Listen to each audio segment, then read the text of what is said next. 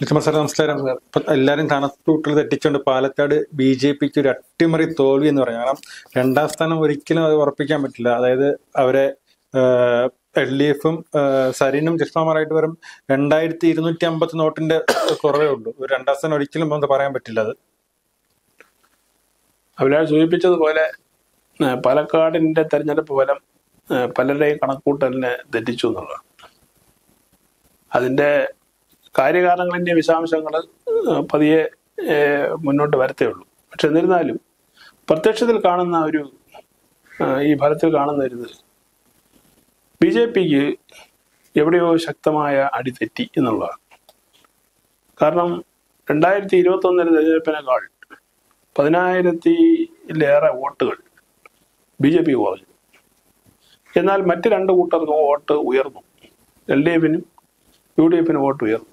നഷ്ടപ്പെട്ടത് B J പിക്ക് മാത്രം. L D എഫിന് ഒന്നേ പോയിന്റ് ആറ് നാല് ശതമാനം വോട്ട് കൂട്ടിയിരിക്കും അവർ. അത് തന്നെ വോട്ട് അവർക്ക് കൂടി. എൽ ഡി എഫിന് അതായത് സരിന്റെ സ്ഥാനാർത്ഥിത്വം വലിയ പ്രശ്നം ഉണ്ടാക്കും മാത്രമല്ല അതിർത്തർ അപ്പുറത്ത് വോട്ട് ചെയ്യുമെന്നൊക്കെ പറഞ്ഞതെല്ലാം അസ്ഥാനത്തായി എന്നിപ്പം മനസ്സിലായി. അതായത് പാർട്ടി വോട്ടുകൾ ഇളക്കം തട്ടിയിട്ടില്ല സി പി എം പാർട്ടി നെട്ടിയിരിക്കും ഇത്ര വോട്ട് സരും പിടിച്ചപ്പോ അതെ അതെ. അതായത് സാധാരണഗതിയിലവിടെ സി പി എമ്മിന് കുറച്ച് വോട്ടുണ്ട് പാർട്ടി വോട്ടുണ്ട്. ആ പാർട്ടി വോട്ട് കൂടാതെ സരിന്റെ വ്യക്തിപ്രഭാവത്തിലൂടെ കുറച്ച് വോട്ട് വന്നു എന്നാണ് മനസ്സിലാക്കുക അങ്ങനെയാണ് ഈ പറഞ്ഞതുപോലെ ഈ വോട്ട് വർധന അദ്ദേഹത്തിന് കിട്ടിയത്. മറുവശത്ത് രാഹുൽ മാങ്ങോട്ട് നേട്ടിയ ഭൂരിപക്ഷം അത്ഭുതപ്പെടുത്തുന്നതാണ് അത് പറയാതിരിക്കുന്നത് റെക്കോർഡ് ഭൂരിപക്ഷം പതിനെട്ടായിരത്തി അറുന്നൂറ്റി അറുപത്തി ഒമ്പത് തീർച്ചയായിട്ടും. അതായത് പിന്നെ ബി ജെ പിയെ സംബന്ധിച്ചിട്ട് ബി ജെ പിയുടെ കഴിഞ്ഞ പത്ത് വർഷത്തിന് പുറമെ ഏറ്റവും മോശം പാഠമാണ് രണ്ടായിരത്തി പതിനാറിലെ തെരഞ്ഞെടുപ്പിനേക്കാളും കുറവ് വോട്ടാണ് ഇപ്പോൾ കിട്ടിയിരിക്കുന്നത്.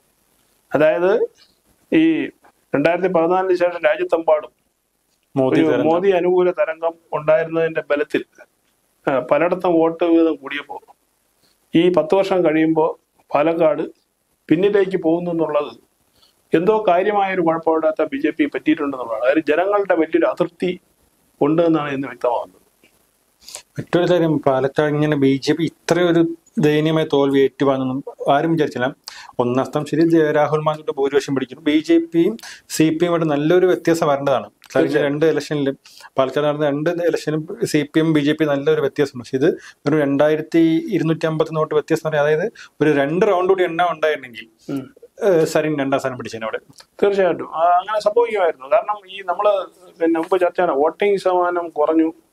ആ വോട്ടിംഗ് ശതമാനം കുറഞ്ഞതിന്റെ പിന്നെ പ്രതിഫലനം പിന്നെ സരിനായിരിക്കും. സരിന് അനുകൂലമാവും എന്ന ഒരു കണക്കൂട്ടൽ നേരത്തെ തന്നെ ഉണ്ടായിരുന്നു. അത് കൃത്യമായിട്ട് അതിന്റെ സംഭവിച്ചു. മറുപക്ഷത്ത് ഈ നമ്മുടെ നഗരമേഖലയിൽ അതായത് മുനിസിപ്പാലിറ്റിയിലെ പല ബൂത്തുകളിൽ എൺപത് ശതമാനത്തിന് മേലെ പോളിംഗ് നടന്നു. അത് ബി ജെ പി ഗുണകരമാവുമെന്നായിരുന്നു എല്ലാവരും കണക്കൂട്ടിയിരുന്നത്.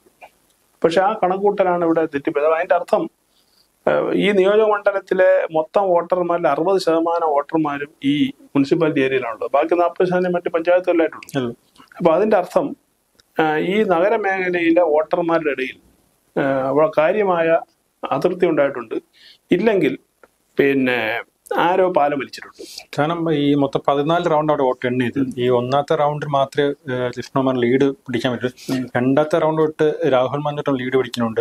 മറ്റൊരു വ്യത്യാസം എന്ന് പറഞ്ഞാൽ ഒരു ആറ് റൗണ്ട് കഴിഞ്ഞപ്പോൾ ആറാമത്തെ റൗണ്ട് കഴിഞ്ഞപ്പോൾ ആറ് റൗണ്ട് വരെ കൃഷ്ണകുമാർ രണ്ടാം സ്ഥാനത്തും രാഹുൽ ഒന്നാം സ്ഥാനത്തും ആ വോട്ട് ഓരോ റൗണ്ടിലും വോട്ട്. പക്ഷേ ആറാമത്തെ റൗണ്ട് ആയപ്പോൾ കൃഷ്ണകുമാറിന്റെ ഏഴാമത്തെ റൗണ്ട് മുതൽ സരിൻ വോട്ട് തൂട്ടി തുടങ്ങി. ഏഴാമത്തെ റൗണ്ട് തൊട്ട് ഒരു പത്താമത്തെ റൗണ്ട് വരെ സരിന്റെ വോട്ട് കൂട്ടുന്നു കൃഷ്ണകുമാർ പോകുന്നു കൃഷ്ണകുമാർ മൂന്നാം സ്ഥാനത്ത് പോവുകയാണ് ആ ഓരോ റൗണ്ട്. പതിനൊന്നും പന്ത്രണ്ടും പതിമൂന്നായപ്പം സരിൻ ഒന്നാം സ്ഥാനത്ത് എത്തിയാണ്. ലീഡ് വോട്ടിന്റെ ശതമാനം കൂട്ടിക്കൊണ്ടിരിക്കുകയാണ്. കൂട്ടിക്കൊണ്ടിരിക്കുകയാണ് അല്ല അതാണ് പറഞ്ഞത്. ഇപ്പൊ ഈ മുനിസിപ്പാലിറ്റി ഏരിയയിൽ രാഹുൽ മാങ്കൂട്ടത്തിന് നാലായിരത്തിലേറെ വോട്ട് ബി ജെ പിയുടെ ഏരിയ വോട്ട് കുറയും ചെയ്തു അവിടെ. ബി ജെ പി വോട്ട് പറഞ്ഞാൽ നാലായിരത്തിലേറെ വോട്ട് പിന്നെ നഗരമേഖലയിൽ കൂടുതൽ കിട്ടി. ഇത് മുമ്പ് വി കെ ശ്രീകണ്ഠനും കിട്ടില്ല ഷാഫിയും കിട്ടിയിട്ടില്ല. ഇല്ല. അപ്പൊ ഇവർക്ക് രണ്ടുപേരും കിട്ടാത്ത വോട്ട് രാഹുൽ മാങ്കൂട്ടത്തിന് കിട്ടിയെങ്കിൽ പിന്നെ ബി ജെ പിയുടെ വോട്ട് തന്നെയാണ് അവിടെ അല്ല ബി ജെ പിയുടെ വോട്ട് തന്നെയാണ്. അപ്പൊ കാര്യമായിട്ട് പിന്നെ എന്തോ ഒരു പാകം ചരട് വലി ചരട് വലി അല്ലെങ്കിൽ പാലം വലി നടന്നിട്ടുണ്ടെന്നുള്ള വളരെ വ്യക്തമാണ്. അത് ആര് എന്നുള്ളതാണ് ഒരു ചോദ്യചിഹ്നം. എന്നാൽ ശോഭാ സുരേന്ദ്രൻ ആദ്യം ഒന്നും രംഗത്തില്ലായിരുന്നു. പാലക്കാട് ഒരു പ്രചരണത്തിന് പറഞ്ഞില്ലായിരുന്നു ശോഭയുടെ ഫ്ലെക്സ് കത്തിച്ച് കളയണോ അങ്ങനെ ഒരുപാട് വാർത്തയുണ്ട് അപ്പൊ ബി ജെ പിക്ക് അത്ര കല്ലടി ഉണ്ടായിരുന്നു. ആ കല്ലടിയാണ് ഈ സന്ധ്യ വാര്യർ പുറത്തു പോയത്. അതെ ഈ സന്ദീപ് വാര്യരുടെ പുറത്തു പോകാനൊന്നും ഈ വോട്ടുമായിട്ട് ബന്ധമുണ്ടെന്ന് ഞാൻ കരുതുന്നില്ല. പക്ഷേ അവിടെ ഈ കൃഷ്ണകുമാർ എന്ന സ്ഥാനാർത്ഥിക്കെതിരെ പിന്നെ വലിയൊരു വികാരം ഉണ്ട് എന്ന് നമ്മൾ മനസ്സിലാക്കേണ്ടി വരും. കാരണം ഒരുപാട് അനുകൂല ഘടകങ്ങൾ പാർട്ടിക്ക് ഉണ്ടായിരുന്നല്ലോ. ആ അനുകൂല ഘടകങ്ങളൊക്കെ മുനമ്പടക്കമുള്ള അനുകൂല ഘടകങ്ങൾ ഉണ്ടായിട്ട് പോലും ഇത്രയും വലിയ രീതിയിൽ വോട്ട് കുറഞ്ഞുവെങ്കിൽ സ്ഥാനാർത്ഥിയോടുള്ള അതൃപ്തിയാവാനുള്ള കാരണം. മാത്രമല്ല ഈ നഗരസഭയിലെ ചില കൗൺസിലർമാർ ഈ പിന്നെന്താണ് പിണങ്ങിയിരിക്കുന്ന സാഹചര്യം ഉണ്ടായിരുന്നു തെരഞ്ഞെടുപ്പിന് മുമ്പ്. അത് പിന്നീട് ചർച്ച ചെയ്തൊക്കെ എന്തോ പരിഹരിച്ചു. അപ്പൊ ഈ കൗൺസിലറുടെ ഭാഗത്തു നിന്ന് പിന്നെ എന്തെങ്കിലും തരത്തിലുള്ള പിന്നെ പാലമരികൾ നടന്നിട്ടുണ്ടോ എന്നുള്ളതും സംശയമുണ്ട്. അപ്പൊ എന്ത് എന്തായാലും ശരി ഇത് കൃഷ്ണകുമാറിന്റെ പാലക്കാടിലെ രാഷ്ട്രീയ പിന്നെ ഭാവിക്ക് ഇത് വലിയൊരു തടസ്സം തന്നെയാണ് ഈ റിസൾട്ട്. അതുപോലെ അവിടെ ഒരു ഒരു മുനിസിപ്പാലിറ്റി മൂന്ന് പഞ്ചായത്താണ്. അത് മുനിസിപ്പാലിറ്റിയിൽ എന്താണ് കൃഷ്ണകുമാർ വോട്ട് കുറച്ച് പിടിക്കുന്നുണ്ട്. പിരിയാരിയിൽ രാഹുൽ മാഞ്ഞിട്ടും നല്ലൊരു മുൻതൂക്കം. അത് പതിമൂവായിരത്തി നാനൂറ്റി അറുപത്തിനാല് വോട്ട് പിടിച്ചപ്പോൾ കൃഷ്ണകുമാർ അയ്യായിരത്തി മുന്നൂറ്റി നാൽപ്പത്തിരണ്ട് വോട്ടും സരിൻ അവിടെ ആറായിരത്തി എണ്ണൂറ്റി നാൽപ്പത്തി ആറ് വോട്ടും പിടിച്ച് രണ്ടാം സ്ഥാനത്ത് പറഞ്ഞുണ്ട് അതായത് പിരിയാരി പഞ്ചായത്തിൽ ബി ജെ പിയെ തൊടിയിക്കുന്നില്ല. സരിൻ രണ്ടാം സ്ഥാനത്ത് പറഞ്ഞു മറ്റ് രണ്ട് പഞ്ചായത്ത് മാത്തൂരിലും കണ്ണാടിയിലും സി പി എം ഒന്നാം സ്ഥാനത്ത് വരെ സരിൻ. അതെ നല്ലൊരു വ്യത്യാസമുണ്ട്. അവിടെ ബി ജെ പിയുടെ അഡ്രസ് പോലും ഇല്ല ഒരു മൂവായിരം വോട്ടുകൾ മാത്രമേ കിട്ടണുള്ളൂ അല്ല, കഴിഞ്ഞ വർഷം അങ്ങനെ അല്ലായിരുന്നു അവർക്ക് ഇവിടെ? അല്ല അങ്ങനെയാണെങ്കിൽ രണ്ടായിരത്തി ഇരുപത്തി ആറിലെ തെരഞ്ഞെടുപ്പിൽ പിന്നെ സി പി എം ആഞ്ഞു പിടിച്ചു കഴിഞ്ഞാൽ തുടർന്ന് പറഞ്ഞ ഉറപ്പാണ്. അവർക്ക് ഈ പറഞ്ഞതുപോലെ കൃത്യമായിട്ട് ഒരു രണ്ടാം സ്ഥാനത്തേക്ക് പാലക്കാട് വരാൻ കഴിയും എന്നുള്ളത് ഇതാണ് സാഹചര്യമെങ്കിൽ ബി ജെ പി ഇങ്ങനെയാണ് മുന്നോട്ട് പോകുന്നതെങ്കിൽ അവരുടെ സംഘടനാ പ്രശ്നങ്ങൾ പരിഹരിച്ച് മുന്നോട്ട് പോയില്ല എങ്കിൽ ഈ പാലക്കാടുള്ള മുൻതൂക്കം ബി ജെ പിക്ക് വലിയ താമസമില്ലാതെ നഷ്ടപ്പെടും. നമ്മൾ ഈ അന്ന് ഈ തെരഞ്ഞെടുപ്പ് കഴിഞ്ഞ ഒരു മണിക്കൂറിനകത്ത് തന്നെ പ്രസിഡന്റ് സുരേന്ദ്രൻ ഒരു പോസ്റ്റ് ഇടുന്നുണ്ട് ഇന്ന് പറയുന്നത് വെച്ചാൽ സുരേന്ദ്രന്റെ നമ്മൾ സി പി എം ആണ് ക്യാപ്സൂൾ ഇറക്കുന്നത് പറഞ്ഞു ഇന്ന് സി സുരേന്ദ്രന്റെ ക്യാപ്സൂൾ എന്ന് വെച്ചാൽ ഉപതെരഞ്ഞെടുപ്പിൽ ബി ജെ പിക്ക് വോട്ട് തുറഞ്ഞിട്ടേ ഉള്ളൂ. പക്ഷെ അങ്ങനെയാണെങ്കിൽ ചേലത്തറയിൽ എങ്ങനെ ബി ജെ പിക്ക് വിജയ വോട്ട് കൂടി വോട്ട് കൂടി? പതിനഞ്ച് പോയിന്റ് ആറ് എട്ട് നിന്ന് രണ്ടായിരത്തി ഇരുപത്തി ഒന്നിൽ രണ്ടായിരത്തി ഇരുപത്തി നാലായപ്പോൾ ഇരുപത്തി ഒന്ന് പോയിന്റ് നാല് നാല് ശതമാനം വോട്ട് വോട്ട് കൂടി. ആ. അല്ല അത് സ്ഥാനാർത്ഥി മികവും കൂടിയുണ്ട്. അവിടുത്തെ സ്ഥാനാർത്ഥി ഉപതെരഞ്ഞെടുപ്പിൽ ബി ജെ പിക്ക് വോട്ട് തുറയെങ്കിൽ എന്തുകൊണ്ട് ചേലക്കരയിൽ തുറഞ്ഞില്ല അല്ല അത് കാഷ്വൽ നമ്മൾ അതിനെ കണ്ടാൽ മതി. കാരണം ഈ അതായത് ഈ ഈ തെരഞ്ഞെടുപ്പിൽ ഈ രണ്ട് മണ്ഡലങ്ങളിലും ബി ജെ പി കൂടുതലും ഫോക്കസ് ചെയ്തിരുന്നത് പാലക്കാടായിരുന്നു. സുരേന്ദ്രൻ അവിടെ ക്യാമ്പ് ചെയ്തിട്ടാണ് ഈ പിന്നെ തെരഞ്ഞെടുപ്പ് ഒരു മാസത്തോളം. അതിന്റെ ഒരു ആവശ്യം ഉണ്ടായിരുന്നു. എന്നാൽ സുരേന്ദ്രൻ ആദ്യമായിട്ട് ഇങ്ങനെ തൃശ്ശൂർ പോലും ഇങ്ങനെ നിന്നിട്ടില്ല അതെ അവിടെ ക്യാമ്പ് ചെയ്തായിരുന്നു ഈ പ്രവർത്തനം ഏകോപിപ്പിച്ചത്. അപ്പോൾ സ്വാഭാവികമായിട്ടും അവിടുത്തെ തോൽവി തോൽവി ചെറിയ തോൽവിയിലെ കനത്ത തോൽവിയാണ്. ആ കനത്ത തോൽവിയെ പിന്നെ പ്രതിരോധിക്കാൻ തൽക്കാലം വേറെ മാർഗമൊന്നും ഇല്ലാത്തതുകൊണ്ടായിരിക്കും ഇങ്ങനെ ഒരു ക്യാപ്സ്യൂൾ ഇറക്കിയത്. ഈ കൃഷ്ണകുമാറിനെ തോൽപ്പിച്ചത് എനിക്കൊന്ന് ബി ജെ പിയോ സി പി എം ഒന്നും അല്ല ബി ജെ പി തന്നെ ആണ് കൃഷ്ണകുമാർ ഉറപ്പാണ് ഉറപ്പാണ്. കാരണം വെച്ച് കഴിഞ്ഞാൽ ഇവിടെ നമ്മൾ കാണേണ്ട ഒരു കാര്യം സി പി എമ്മിന്റെ വോട്ട് മറിച്ചിട്ടില്ല. കോൺഗ്രസിന് മറിച്ചിട്ടില്ല. തിരിച്ച് സംഭവിച്ചിട്ടില്ല. അവർ അവരുടെ വോട്ട് വീതം ബി ജെ പി വോട്ടാണ് രണ്ടുപേരും പിടിച്ചിരിക്കുന്നത്. രണ്ടുപേരും പിടിച്ചിരുന്നത് ബി ജെ പി വോട്ടാണ്. അപ്പൊ ബി ജെ പിയിൽ നല്ലൊരു അസംതൃപ്തമായ വിഭാഗം പ്രത്യേകിച്ച് അവരുടെ സ്ട്രോങ് ഹോൾഡായിട്ടുള്ള മുനിസിപ്പാലിറ്റി ഏരിയയിൽ ഉണ്ട് എന്നാണ് മനസ്സിലാക്കാൻ. അവരിൽ നല്ലൊരു വിഭാഗം മറച്ചു കുത്തി. ഈ മുനിസിപ്പാലിറ്റിയിൽ ഒരു ഏഴായിരം ആറായിരം വോട്ട് ലീഡ് കിട്ടും എനിക്കൊരു പ്രതീക്ഷയുണ്ട്. ഒരു അയ്യായിരം വോട്ട്. പക്ഷെ. തപാൽ വോട്ട് എണ്ണിയപ്പോൾ ആയിരത്തി ഇരുന്നൂറായിരുന്നു ആ തപാൽ വോട്ട് കഴിഞ്ഞപ്പോൾ പിന്നെ ഒരു രണ്ടായിരം പോലും ലീഡ് പിടിക്കില്ല. ഒരു ആയിരത്തി ഒരുന്നൂറ്റി അറുപതാണ് എന്റെ ഓർമ്മയിൽ ലീഡ് പിന്നെ നാനൂറിലെത്തും തൊള്ളായിരം നാനൂറ് അങ്ങനെ പോണുള്ളൂ. ആണ്. അതായത് ഏഴാമത്തെ റൗണ്ട് വരെ ആ ബി ജെ പിക്ക് മേൽക്കൈയാണ്. മേൽക്കൈ ഉണ്ടായില്ല എങ്കിൽ പിന്നോട്ട് പോകുന്നുള്ള ഉറപ്പായിരുന്നു. കാര്യം പിന്നെ പഞ്ചായത്താണല്ലോ വരുന്നത്. പക്ഷേ നേരത്തെ അഭിലാഷ് റൗണ്ടിൽ തന്നെ ബി ജെ പി പോയി. ആ രണ്ടിൽ തന്നെ അവർ വീണ് തുടങ്ങി. അപ്പൊ അതിന്റെ അർത്ഥം എന്ന് പറയുന്നത് ശക്തി കേന്ദ്രങ്ങളിൽ തന്നെ ശക്തമായ ചോർച്ച ഉണ്ടായി എന്നുള്ളതാണ്. ആ ചോർച്ച അടയ്ക്കാനുള്ള മാർഗമാണ് ഇനി പിന്നെ ബി ജെ പി കണ്ടെത്തേണ്ടത് എന്നുള്ളതാണ് ഒരു പ്രധാനപ്പെട്ട വിഷയം. മറ്റൊന്ന് ഈ തെരഞ്ഞെടുപ്പിൽ കൂടി പാലക്കാട് ബി ജെ പിയുടെ ജില്ലാ നേതൃത്വത്തിൽ വലിയ അടിപിടി മിക്കവാറും ഇന്ന് പോലെ തുടങ്ങാനുള്ള സാധ്യതകളും നമ്മൾ മറ്റൊരു കാര്യം ശ്രദ്ധിക്കാൻ ഞാൻ പറയാം. അതായത് ഇപ്പൊ ഒരു സ്ഥലത്ത് കോൺഗ്രസും നമ്മൾസ് നിൽക്കുകയാണ് കോൺഗ്രസ് ബി ജെ പി ജയിക്കുമെന്ന് അറിഞ്ഞാൽ കോൺഗ്രസും C P M cross out ഉണ്ട്. ഉണ്ട്. പാലക്കാടും ഇപ്പൊ രാഹുൽ മാനോട്ടൻ ജയിച്ചെങ്കിൽ ഈ ക്രോസ് ഔട്ട് ഒരിക്കലും നടന്നിട്ടില്ല. ഇല്ല നടന്നിട്ടില്ല. ബി ജെ പിയുടെ വോട്ടാണ് നമ്മൾ നോക്കേണ്ടത്. ഇല്ല ക്രോസ് ഔട്ട് എന്ന് പറയുന്ന ആരോപണം നമ്മൾ ഉന്നയിക്കാൻ കഴിയില്ല. സുരേന്ദ്രൻ ഉന്നയിക്കാൻ പറ്റൂല. സുരേന്ദ്രൻ മനസ്സിലായി? മൂന്ന് മുന്നണികളും അവരുടെ വോട്ട് കൃത്യമായി പിടിച്ചത് മാത്രമല്ല അവരെ ഭൂരിപക്ഷം ഉയർത്തുകയും ചെയ്തു. അപ്പൊ അതിന്റെ അർത്ഥം എന്ന് പറയുന്നത് അവർ ഈ പറഞ്ഞ വോട്ടേജ് നടത്തിയിട്ടില്ല. ബി ജെ പി ജയിക്കില്ല എന്ന് ഒരുപക്ഷെ അവർക്ക് നേരത്തെ ഉറപ്പായിട്ടുണ്ടാവും. ഇല്ല എങ്കിൽ വേറെ എങ്കിലും ഡീൽ ഇതിന്റെ ഇടയിൽ അന്തർധാര നടന്നിട്ടുണ്ടാവണം. ഇല്ലെങ്കിൽ പതിനായിരം വോട്ടൊക്കെ കുറയാന്ന് പറയുന്നത് തീർച്ചയായും അവിശ്വസനീയമാണ്. കാരണം കഴിഞ്ഞ രണ്ടായിരത്തി ഇരുപത്തി തെരഞ്ഞെടുപ്പിൽ മെട്രോമാൻ ശ്രീധരൻ സാറിനെ മത്സരിച്ച് അദ്ദേഹത്തിന്റെ വ്യക്തിപ്രഭാവമാണ് ഈ അമ്പതിനായിരം വോട്ടിന് മേലെ ഇരുപത്തിൽ കൊണ്ടുവന്നത്. ഷാഫിയുടെ ഭൂരിപക്ഷം എന്ന് പറയുന്നത് ഇരുപതിനായിരം വോട്ടിന്റെ ഭൂരിപക്ഷം ഷാഫിയുടെ നാലായിരത്തിലേക്ക് ചുരുങ്ങി. അപ്പോൾ ഇത്തവണ പ്രതീക്ഷിച്ചിരുന്നത് രാഹുലിന് എന്തായാലും ഷാഫിയുടെ ഒരു ഇമേജ് ഇല്ല. മാത്രമല്ല അയാൾ പുറത്തു വന്ന ആളാണ്. സ്വാഭാവികമായിട്ടും പിന്നെ കൃഷ്ണകുമാറിന് മുൻതൂക്കമാണ് എല്ലാവരും പിന്നെ കരുതിയിരുന്നത്. പക്ഷെ ഇവിടെ ഈ ഒരു പിന്നെ ഈ പാലംവലി അപ്രതീക്ഷിതമായിരുന്നു എന്ന് വേണം മനസ്സിലാക്കാൻ. ഇങ്ങനൊരു ഒരു പിന്നെ പിന്നെ എന്താ ചതി ബി ജെ പി ഒരു ഒരുപക്ഷെ പ്രതീക്ഷിച്ചിട്ടുണ്ടാവില്ല. അതാണ് ഈ പാലക്കാട് തെരഞ്ഞെടുപ്പിന്റെ ഒരു പ്രത്യേകത. നമ്മൾ ഓരോ തെരഞ്ഞെടുപ്പ് ഈ രണ്ടായിരത്തി ഇരുപത്തി മൂന്നിൽ ഓരോ തെരഞ്ഞെടുപ്പ് വരുമ്പോഴും പറയാ സർക്കാരിനെതിരെയുള്ള ഒരു ഭരണവിരുദ്ധ ഉണ്ടെന്ന് പറയും. പക്ഷെ ഈ ചേലക്കരയിലെയും പാലക്കാടിന്റെയും റിസൾട്ട് വരുമ്പോൾ സി പി എം ഒരിക്കലും ഭരണവിരുദ്ധ വോട്ട് തുറച്ചിട്ടില്ല അവർക്ക്.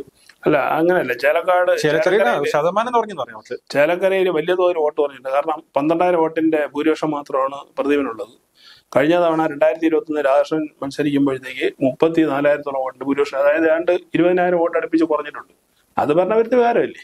ഭരണവിരുദ്ധ വികാരം ഉണ്ട് എന്നുള്ളത് നമുക്ക് പിന്നെ അംഗീകരിക്കേണ്ടി വരും. പാലക്കാട് സംഭവിച്ചില്ല. ഭരണവിരുദ്ധ പാലക്കാട് അല്ല പാലക്കാട് എന്ന് പറയുന്നത് പിന്നെ ഈ പിന്നെ അവിടെ ഒരു പ്രസ്റ്റീജ് മത്സരം ഒരു സ്ഥലമാണ് പാലക്കാട്. മാത്രമല്ല അത് സി പി എമ്മിന്റെ ഒരു സ്ഥലം കൂടിയല്ല. സി പി എമ്മിന്റെ കോട്ടയുമല്ല. കോൺഗ്രസിന്റെ കോട്ടയാണ്. എത്രയോ വർഷങ്ങളായി കോൺഗ്രസ് ജയിച്ചു വരുന്ന ഒരു സ്ഥലമാണ്. അവിടെ ഈ ഭരണവിരുദ്ധ വികാരം എന്ന് പറയുന്ന സംഭവത്തിന് പ്രാധാന്യമില്ല. കാര്യം അവരുടെ സ്ഥാനാർത്ഥി ജയിപ്പിച്ചെടുക്കാന്നുള്ളൂ. കോൺഗ്രസിന്റെ സ്ഥാനാർത്ഥി ജയിപ്പിക്കുക സിറ്റിംഗ് സീറ്റ് അല്ലല്ലോ. നമ്മൾ എങ്ങനെയാണ് ഭരണവിരുദ്ധ വികാരത്തെ അളക്കുന്നത്? ഒരു പിന്നെ പാർട്ടി സീറ്റിൽ അവർക്ക് വോട്ട് കുറയുകയോ തോക്കുകയോ ചെയ്യുമ്പോഴാണ് നമ്മൾ ഭരണവിരുദ്ധ വികാരത്തെ അളക്കുന്നത്. പാലക്കാട് അവരുടെ ഒരു സീറ്റ് അല്ലല്ലോ. സി പി എമ്മിന്റെ സീറ്റ് അല്ല. അതുകൊണ്ട് തന്നെ അവിടെ നമുക്ക് അളക്കാൻ കഴിയില്ല. എന്നാൽ ചേലക്കര അങ്ങനെയല്ല ചേലക്കര അവരുടെ കോട്ടയാണ്. എത്രയോ വർഷങ്ങളെ അവർ ജയിച്ചു വരുന്ന ഒരു സ്ഥലമാണ്. വൻ ഭൂരിപക്ഷം ജയിച്ചു വരുന്ന സ്ഥലമാണ്. അഞ്ച് തവണ കെ രാധാകൃഷ്ണൻ ജയിച്ച മണ്ഡലമാണ്. ഏറ്റവും അവസാനം വൻ ഭൂരിപക്ഷം ജയിച്ചതാണ് അവിടെ ഇപ്പോൾ പന്ത്രണ്ടായിരത്തിലേക്ക് ചുരുങ്ങുമ്പോൾ സ്വാഭാവികമായിട്ടും ഈ നഷ്ടപ്പെടുന്ന വോട്ടുകൾ അങ്ങനെ തന്നെ കാണേണ്ടി വരും. മറ്റൊരു വോട്ട് കൂടിയല്ലോ. ബി ജെ പിക്ക് ഒമ്പതിനായിരം വോട്ട് കൂടി അതുപോലെ കോൺഗ്രസിന് വോട്ട് കൂടി. ഇതതിന്റെ പ്രതിഫലനം തന്നെയാണ്. ചേലക്കരയിൽ എം എ ഹരിദാസ് നല്ലൊരു മത്സാരത്തി മത്സരാർത്ഥിയായിരുന്നു. ഒരിക്കലും അല്ല. രമ്യ ഒരു മുൻ പരാജയമായിരുന്നു എന്നുള്ളതിന്റെ ഒന്നുകൂടെ തെളിയിക്കുന്നതാണ്. രമ്യ കോൺഗ്രസും തോൽക്കും എന്ന് ഉറപ്പുള്ളപ്പോൾ കൊണ്ട് നിർത്തുന്ന സ്ഥാനാർത്ഥിയാണ്. കാരണം പണ്ട് ബി ജെ പിക്ക് ഒരു സ്ഥാനാർത്ഥി ഓ രാജ്യഗോപാൽ തോൽക്കും അവിടെ കൊണ്ട് നിർത്തിയ തോപ്പി ഒരുപക്ഷെ രമ്യ ഹരിദാസ് അല്ലാതെ നല്ല നല്ലൊരു കാൻഡിഡേറ്റ് ആയിരുന്നുവെങ്കിൽ പ്രദീപ് ജയിക്കാൻ ചില വെള്ളം കുടിച്ചേനെ. നല്ലൊരു പിന്നെ പ്രദീപാണ് പാട്ടുപാടി ജയിച്ചിരിക്കുന്നത്. അതെ അതെ. നല്ലൊരു മത്സരം അവിടെ ഒരു- കാഴ്ച കാഴ്ചവെക്കാൻ കഴിയുമായിരുന്നു. രമ്യ ഹരിദാസിന്റെ കോൺഗ്രസിലേക്കുള്ള ഇനി ഒരു രാഷ്ട്രീയ ഭാവി ഒരു ചോദ്യചിഹ്നമാണ്. കാരണം രണ്ട് തോൽവി അടുപ്പിച്ചായി. ലോക്സഭയിൽ തോറ്റു നിയമസഭയിൽ തോറ്റു. ഇനിയിപ്പോ അവർക്ക് പാർട്ടിയിലൂടെ അവരോടുള്ള അവർക്കുള്ള പ്രതിവിധി പതിയെ പതിയെ കുറഞ്ഞു വരുന്ന സാധ്യത. കാര്യം ഇവർ ഇനി ഒരു വിന്നബിൾ കാൻഡിഡേറ്റ് അല്ല എന്ന ഒരു ഇത് കോൺഗ്രസ് വന്നു കഴിഞ്ഞാൽ സ്വാഭാവികമായിട്ടും അവരുടെ കാര്യം ഇനി പിന്നെ ചോദ്യചിഹ്നമായി മാറും. ചർച്ച ചെയ്ത മറ്റൊരു രണ്ടായിരത്തി ഇരുപത്തി ആറിലെ പൊതു തെരഞ്ഞെടുപ്പ് നിയമസഭ തെരഞ്ഞെടുപ്പ് വരുന്ന മുമ്പ് ഒരു സെമി ഫൈനലാണ് ഈ ഉപതെരഞ്ഞെടുപ്പ്. ഇനി വേറെ ഉപതെരഞ്ഞെടുപ്പ് വരില്ല രണ്ടായിരത്തി ഇരുപത്തി ഇരുപത്തി പഞ്ചായത്ത് മുനിസിപ്പാലിറ്റി നഗരസഭ ഇലക്ഷൻ വരുന്നുണ്ട്. ഇപ്പൊ രണ്ടായിരത്തി ഇരുപത്തി ആറ് നിയമസഭയ്ക്ക് മുമ്പുള്ള ഒരു പൊതു സെമി ഫൈനൽ നമുക്ക് പറയാം.